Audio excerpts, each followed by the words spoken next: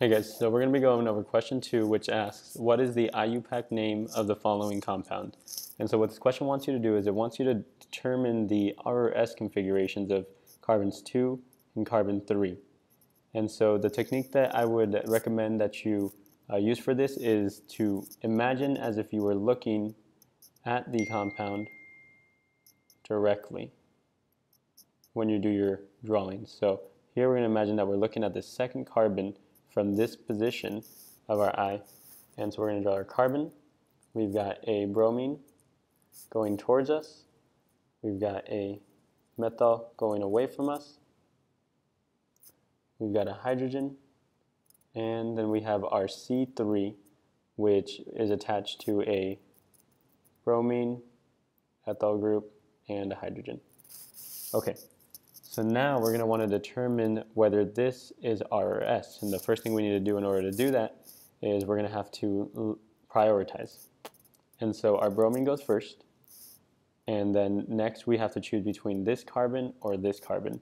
Now since the methyl group is attached to three hydrogens, while the uh, our third carbon in the compound, this carbon here, is attached to a bromine, another carbon, and a hydrogen, that would take our second priority. Our third priority then would go to the methyl, and our final priority, like usual, goes to the hydrogen. And so now we've prioritized the four compounds on this chiral carbon. And so the next thing we're going to want to do is we're going to want to, and this is where it gets a little uh, tricky, is we're going to want to put our fourth priority, which in this case is a hydrogen, sometimes it's, it's different, but we're going to put our fourth priority going away from us. And so very simply what we're going to do in order to do that is we're just going to replace the, the compound that is going currently away from us, which would be this methyl, with the hydrogen. So we're just going to go ahead and erase here, erase here. And now we're going to put our hydrogen down here, and we're going to put our methyl up here. And so now we're, that would change the priority for hydrogen would still be the priority, but now it's going away from us. And then we've got three here. Okay, and so now we do our neat little trick where we do counterclockwise and clockwise. And so we start at one, two to three. That would be counterclockwise, so that's S. And now, however, we did a reversal uh, in the fourth priority. So what this means is we're going to have to uh, also reverse our answer. So instead of S, we're going to get the R. And so that occurs anytime that we do a fourth priority reversal. Uh, let's go ahead and do the third carbon, which also is going to use require this technique, and I'll show, and we'll get some more practice with that. But for now, we've determined that our second carbon is in the R configuration, so we can go ahead and take these guys out because those are two S.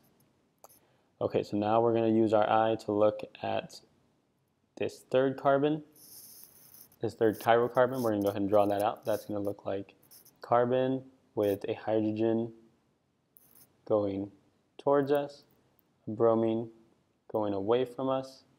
We've got our second carbon here, and then we've got our ethyl group. Okay, so now next we're going to prioritize. And we've got one, second carbon would be, uh, or C2 would be our second priority because that's attached to a bromine, uh, methyl, and a hydrogen. And then this is our third priority because that's attached to a carbon and then uh, two hydrogens less than the bromine and the methyl group. And then lastly, we've got the hydrogen, usually like is number four. Okay, so now we're gonna do the same thing. We want our fourth priority group going away from us. So we're gonna go ahead and flip the bromine and the hydrogen because the bromine is in the away position. We're gonna put our hydrogen here and our bromine here. And so now that leaves us with a priority one here and a priority 4 over here. So now we're happy uh, because the fourth priority group is going away from us. And so now we're going to do our, our clock trick. And we've got one, two, three. That is going counterclockwise. So that would be S. And then since we did a reversal, the fourth priority reversal, that's going to make that R. And so now we have uh, we had from our last time, we've got 2R, now we have 3R, 2,3 dibromopentane. So the answer would be D.